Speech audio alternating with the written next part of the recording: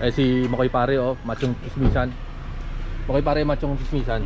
Welcome papi sa probinsya ng Bulacan kung saan makikita mo paglabas pa lang ng bahay mo lubak-lubak na. Ayun oh. Tapos ito yung kotse mo no. Oh, ito yung kotse kong Honda Brio RS na 2020 model. Galing tayo sa Kia Pride saka sa Lancer na pares yun sa'yo. Lancer Itlog, oh, oh. Lancer Lancer Itlog na EL. Mm, mm, mm. Kaya lang nagsawa na ako sa Kakapaayos. kakapayos nung nagkaroon ng chance ang bumili. Bago-bago naman tayo Oh, no. Saka sa medyo tipid sa gas. Ayan, ano, saktong-sakto Mm. na sa sa panahon ngayon, Oo. no? Na, na napakamahal ng gas, Oo. no?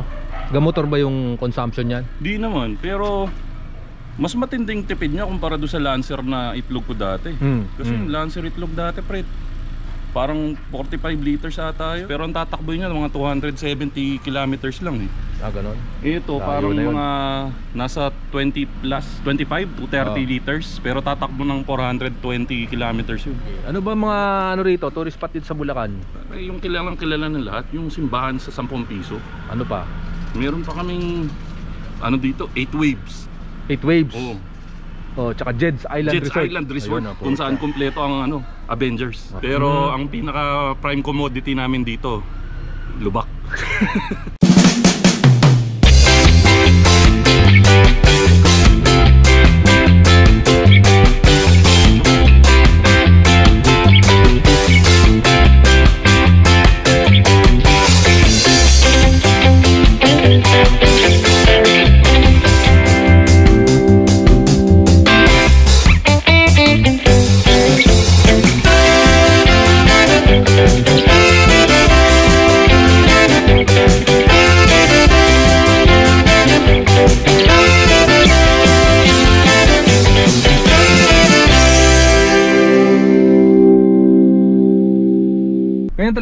pinalitan mo na ng puti yan. Pinalitan ko na ng puti para ano, hindi tayo mapagbibintang may ginagawa tayong masama. Oh, napakadilim nga ng tint mo eh, oh. Pupunta mo yan, oh, yan ang tint na ordinary. Ito yung paside. Oo. Hindi kaya lang naman kasi nakatint ng medyo madilim to para sa safety din ni Mrs. pag hiniram ni Mrs. Ah, ginagamit kotse. yung commander to. Oo. Oh, haba ng galamay mo ah. Kasya ka dito, 6'5 ka, di ba? Hindi, 6 lang. 6 ka lang? Oo. Parang haba eh. So ito walang problema sa space sa'yo to. Oo, kasi ano eh, medyo may pagka... Ewan ko, pang matanda ba pag medyo tutukan na ng konti sa manibela? Hindi ako, ganun ako eh. Tandaan na yata ako eh. Okay. So yun ano, ilang silang sisi ba to? Papa, yan Saan mo. kawan ito eh? 1300 to eh. 1300. Oh, 4 cylinder eh, no? Oo. Parang ang laki pala nito eh. Pag ano nga, parang regular sized car din siya na sedan. Oo. Mm. Uy, putang ina, lakas ng preno. Ibiglain kayo, no? Pero ito yung ano, di ba? Top of the line. Ah, oo, ano kasi, meron kasi iba-iba yan. Merong RS, tapos merong RS black top. Oh, ito yung black top. Oo, black top. Na, ang pinagkaiba lang niya doon sa RS na isa, yung bubong. Yung kisame, Oo, ito. yung kisame. Ah, pati bubong. Hindi, yung bubong mismo, yung pinakabubong sa labas, Ah, nakaitim. okay, okay. Mas mahal to. Alam ko 10,000 lang diferensya eh. Pero yung iba, mas prefer nila yung lower model Hmm. kasi manual. Ah, ganun ba? Actually ako medyo kinonsider ko rin yung pagbili ng lower model eh. Baka walang wala silang yellow. Yung color kasi parang ano nga eh, medyo nagsisi rin ako na dilaw eh. Kasi medyo mas mahirap i-maintain yung kulay na dilaw eh. Matulin din. Oo. Oo. Matulin din ano? Mm. Parang gigil din siya eh, no? Oo, medyo ramdam mo. Pero ano ah, ewan ko, siguro kasi galing ako ng ito yung una kong automatic na kotse. Oo.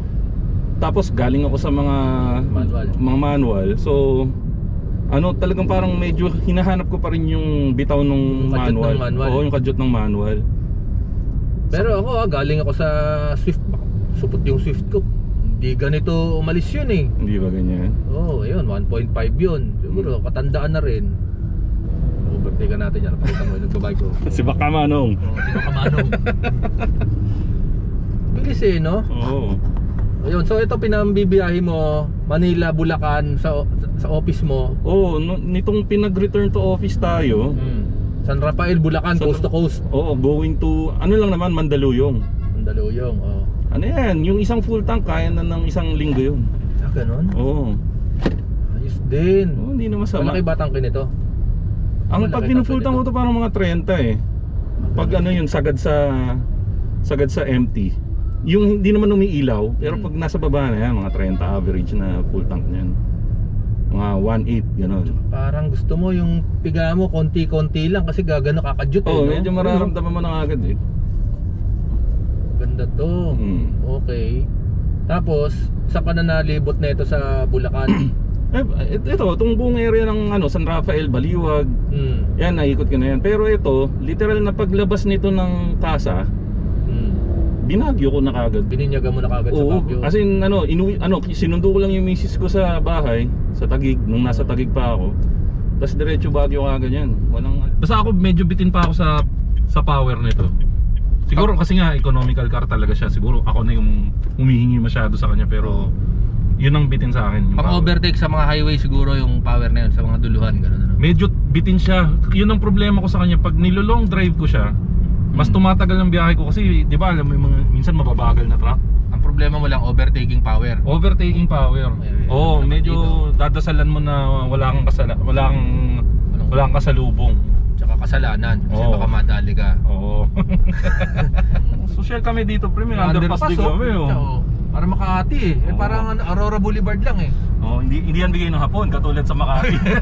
Saka medyo i-debunk natin kanina kasi sinabi natin na parang puro lubak. May gaganda rin naman yung daan namin dito sa Bulacan. May mga lang- flyover nga ako Oo. nadaanan under construction eh. Tsaka mga Oo. maraming bypass road eh, di ba? Oo. Ayun yung mga bypass. Laking tulong yan dito sa mga lokal ng ano.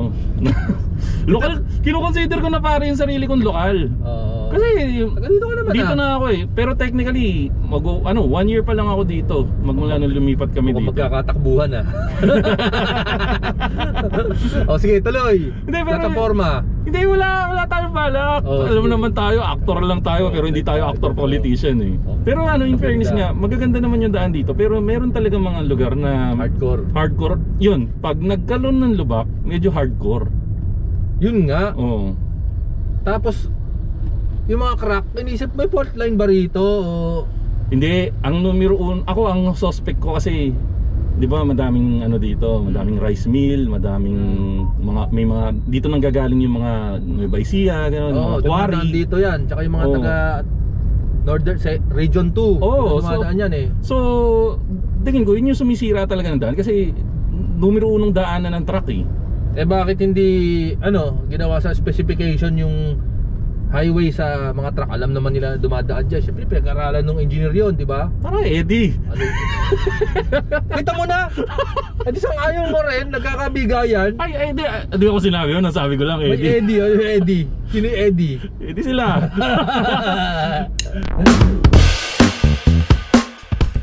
Nako, bida-bida lang sa Facebook ngayon ang mga lubak sa Bulacan. Pero maganda naman talaga ang probinsyang to. Panalo nga dahil di ka masyadong gagaso sa toll gate dahil katabi lang ng Metro Manila ang Bulacan. Unli bukid, fresh air, tsaka magandang road tripan basta alam mo kung nasa ang mga goods na daan. Tapos madaming mga tambayan na ganyan doon, mga nakatambay na mga manong, mga manang. May, Mm. Bawat kanto dito halos may tindahan ng prutas. Probinsyang probinsya yung feels dito Yun na yung size ng road. Oo. Saktong-sakto tong sasakyan na to. Yan ang ibig sabihin, kung ikaw, kung sumut yung tricycle, sa tingin mo, sushoot to. Yun naman, oo, medyo magkasing lapat lang sila eh. oh. Oo. Oh, yan, kumpiyansa tayong makapasok dyan. Oo, kumpiyansa talaga. Napapasok tayo dito. Sa, ang tawag dito pre, ano, coffee shop. Sa Tagalog, kapihan. Yan. Oo. Itong lugar na to, kapihan na to. Sikat sa San Rafael, Bulacan to. Pag sinabi mo kapihan, ano to eh, alam mo ng gateway to papunta sa ano, sa bypass. Pupunta tayong bypass pre. Ah. Papakainin nga kita sa pinaka-hardcore na kainan dito. Tapos kanina, kala ko, ano, open ang prostitution dito. Bakit naman? Kasi may nakita ko, dalaga, suso. Tapos hito. may, may matadaan na tayo ganun. Yung pala, dalag, suso, suso, dalag, Oo. suso, tsaka hito pala. Oo, ko, may, meron dito malalaki nakalagay suso for sale. Suso, suso for sale pala, sorry, sorry. suso. Oo. Ayun. Okay, Balik tayo sa radyo. Features, features. Bluetooth ito. Um, bl- ah, Bluetooth, Hmm. ah, hindi pa hindi dito proof to eh. Hmm. Hindi siya pwede kapitan ng TV Plus. to. Ah, hindi pwede. Kasi yun ang isa sa una kong kinarier, pre. Siyempre, merong radio. o, kita nyo naman. Pagkaon na pagkaon. 594. 594 pare. Pangchuhin talaga to. Oo. Kung hindi RJ eh. No? Oo. RJ. O yan. Oo. Pero hindi siyang, madami siyang channels na set pero hindi ko na sineset kasi syempre solid tayo sa 594. Wala nang DCMM eh. Oo, nawala eh, nawala eh. Ang maganda dito pre, pag gusto mong magkarga, idadapa mo lang yung upuan sa likod. Hmm. Yan yung isa sa, kasi kung, di ba natanda mo, kinuwento ko sa'yo, Hmm. ah Kia Pride ako dati. Hmm. Yun yung isa sa nagustuhan ko sa mga hatch, Hmm. na kung gusto mo magdala ng medyo malalaki, Hmm. idadapa mo lang yung upuan sa likod, makakapagsakay ka ng cabinet dyan. Yung maliit na cabinet lang ha. Kasya cabinet dyan. Oo, kasya cabinet dyan. Yung may salamin, yung may bumubulong sa gabi. Hindi naman. pero, Aparador. pero naranasan ko na magsakay ng aparador. Oo. Pero, yung saktong, ano lang. oh, ito, climate control. Oh, yan. Climate control. ng aircon eh. Oh. Oh, malamig ang aircon nito. Sakto yung long lips kong JDM oh. number 1. Kaganda niyan, papi. Mer meron ka nito. Oh, giniginawa ko. Ginig oh, giniginawa ko kasi ang suit ko lang yung machong chismisan shirt lang eh. Available ba yan sa Kontakin niya kami, kontakin niya lang kami sa Facebook May page Facebook na. kayo, di ba? sa Facebook page na. Pero papi, thank you dito sa binigay mong ano. ah. hoodie yan? Ayan, JDM number 1 na hoodie. na ah. Thank you, oh, papi. Na. Ha? Order kasi kayo kaagad pagka-announce sa pagka-announce, Oo. nagkakaubusan yan eh.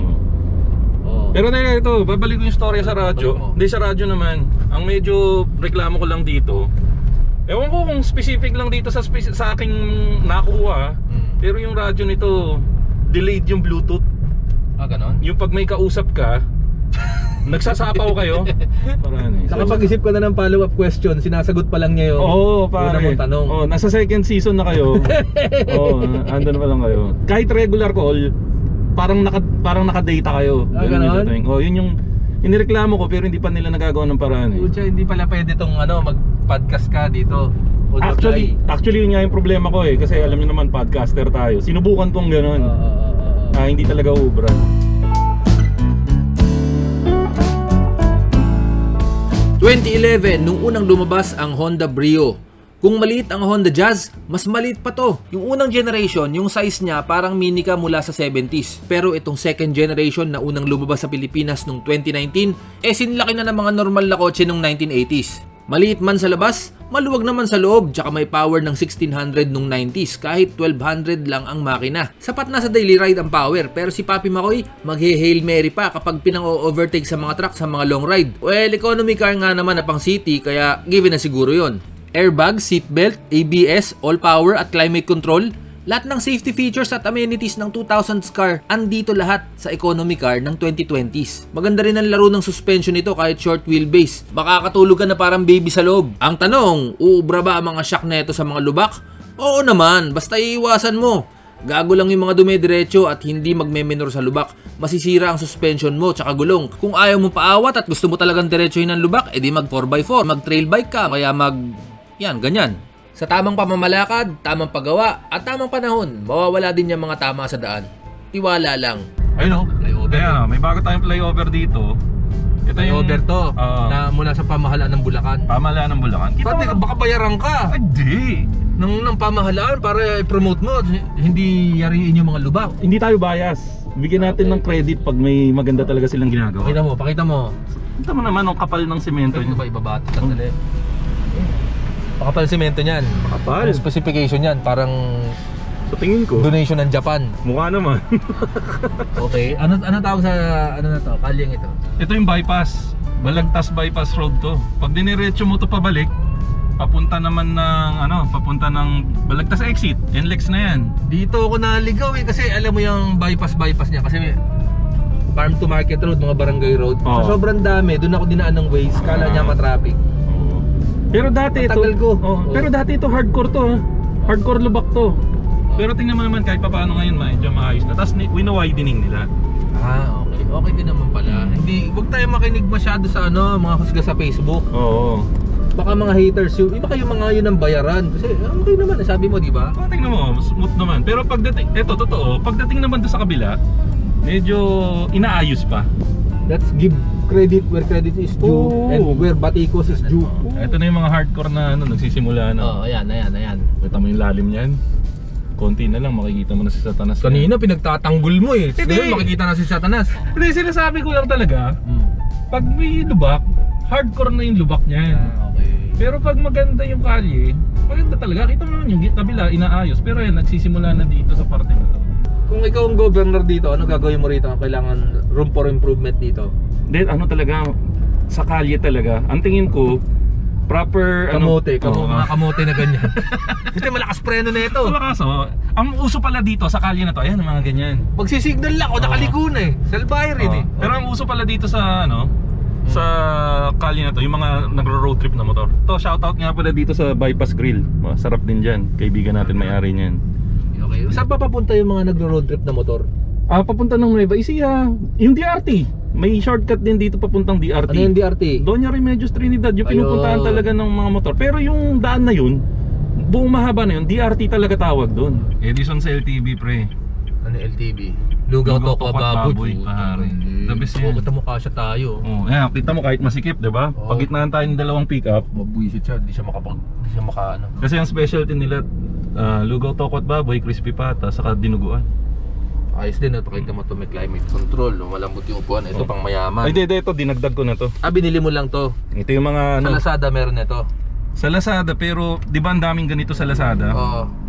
Pinuntahan ko sa bahay kasi gusto ko masiguradong magandang klase. Pinuntahan mo yung seller sa Lazada ng Oo. sa bahay, pwede ba yun? Oo, oh, tinanong ko saan nga ba? Oo, oh, sir. Sigak. Hindi, seryoso sabi ko kasi gusto kong makita talaga yung quality. Oo, pwede pala Oh, yun. pero pag tinignan mo kasi ito yung medyo malapit sa katotohanan. Ah, kasi baka pagka hinagod mong ganun, Oo, at maligas-gas. Oo. So pinunta ko to sa Fairview. Oo. Tapos Chinese looking guy yung may-ari. Hmm. Eh, Chinese looking din ako. So Chinese niya ako. Binigyan niya akong discount. Kayo, oo. Mas mura pagka face to face. Oo. Ay, actually binigyan niya ng same price pero ang magand ang nagustuhan ko lang, nakita ko ng face to face yung itsura. Ah, oo. Sure Na- ball. Oo, na oo. Mga papula-pula pang Yan. halaman dito. Ito stock na ganito yan. Oo. Yung kulay niyan. Maluwag ah. Mm. Medyo madumi lang. Hindi ko alam kasi na Malinis tutuloy na tayo. Hmm. Ba't kaya yung ano niyan, sandalan dyan? Alin? Isa ka passenger side. Tignan mo yung sandalan ng ano mo. Yung sa ulo. Ay, to, to, to. Palin. Hindi, Baliktad. Binaliktad yan kasi yung misis ko, ayaw niya nang nakaganon yung yung headrest. Para si Bato Saya. Hindi, pero parang palatandaan niya rin yan pag may sumakay na iba. Pag umayos yan, ibig sabihin may sumakay na iba. Pwede bang pakipaalala sa misis mo na safety feature yan? Safety Na feature ba yan? Oo, para pagka gumanon, Ah.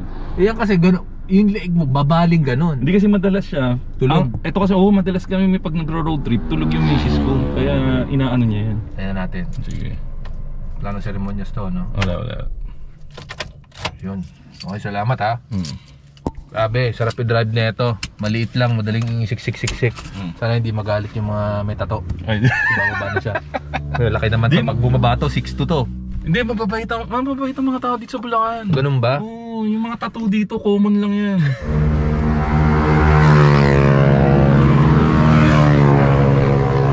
Napaka-user friendly kotse. Ganda, oh. Ito, side Ito, ito, ito yung wala sa ano, sa lower models. Yan yung mga... Yung lower models, wala sila ng ano, body kits. Okay. So, wala silang ah, side skirt, wala silang Pakpak. ganito. Wala rin silang diffuser. Saka itong ito yung binabayaran dyan. Ah, RS badge at itong black top. Mahal dyan.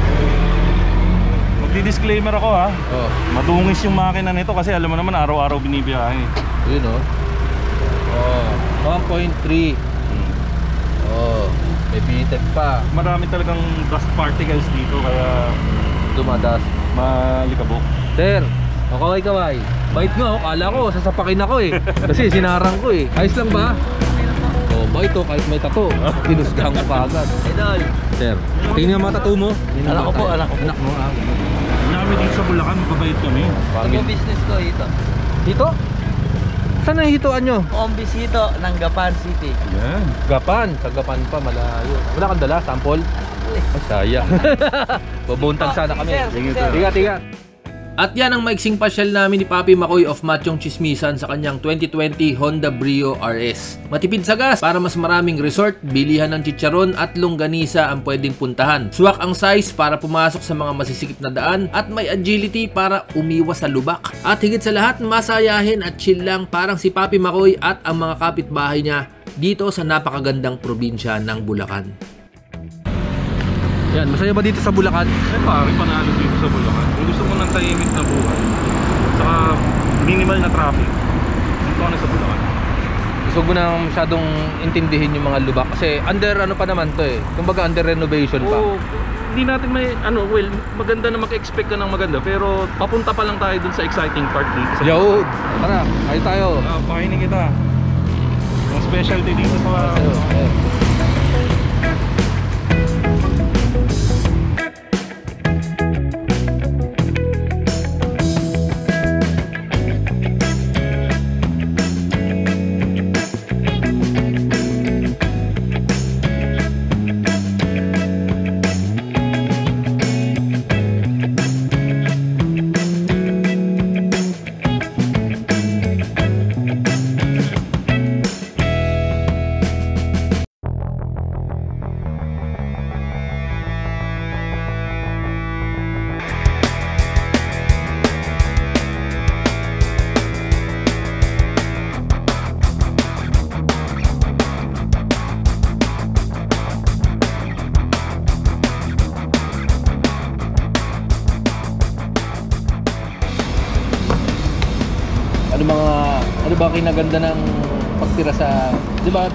BGC ka dati, Oo. sentro ng Metro Manila eh. Oo, pare. Ano bang advantage ng pagtira sa Hindi naman sobrang hardcore probinsya kasi isang probinsya. oh.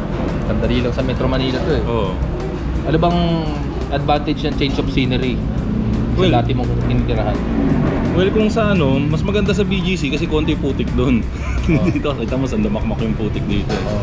Pero ako, ang gusto ko dito pre, yung yun, nature, tas mas homey yung feel Hmm. Na parang, parang ano ba? Parang ramdam na ramdam mo yung pagka-probinsya eh.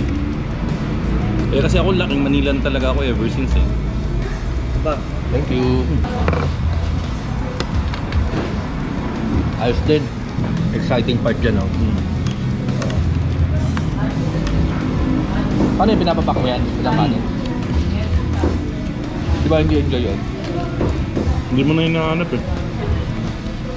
Ang problema kasi sa akin, pag nasimulan ko, Ah, ma-hardcore talaga ako pre. ah ganun. Mm. YOLO-YOLO na. Mm. Gusto mo ma-achieve yung kapayatan na katulad nung na-picture mo sa Facebook, ano, parang Jason Ibler, gano'n. Mm. Hindi kasi nung kapayata ko, bumili akong tatlong pantalon. Masayang. Hindi ko nagamit. Eh, ang podcast nyo, tuloy pa rin. Mm. Non-stop yan. Every week, twice a week. Twice a week. Anong sekreto para ganahan at hindi mawalan ng energy dyan? Ano nangyari? Ano? Binubuhay ko na nga uli eh. Mm. Hindi kasi kami ano eh, may ano, cliche man pakinggan. Masarap, masarap yung feeling na ano, may mga natatanggap kang comment na Oo. ano, napapasaya mo sila during time na may problema sila. Sarap yung pakiramdam na ganun eh. Ah, gano'n? Kahit na in our, own, in our own small way, Oo. enough na yun para tuloy yung podcast namin. Pogi po sa langit yan. Oo. Pengin, pengin gulay mo ha. Mm. Tapos, Saka okay na rin yung kumikita ng paunti-unti. oh, May, kahit pa paano kasi medyo nag-gain ng traction recently yung podcast eh. Medyo nabuhay yung podcast community nitong nakaraan. ang ganda mambigayan dyan sa podcast. Hindi. Gagawa nga ako eh. Uh, Gusto ko nga gumawa ng podcast, naiingit ako sa inyo eh. hindi ano, ayusin natin. Ano, sa, dati ko pa sinasabi sa'yo yun, ayusin natin yung podcast mo yun. Sige, sige, sige. Lugaw, taba, baboy. Ito ata yun eh. Ano natin yung lugaw no?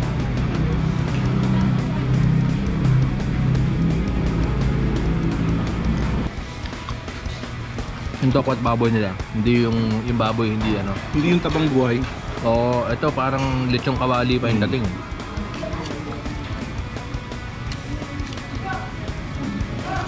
Bulacan number one.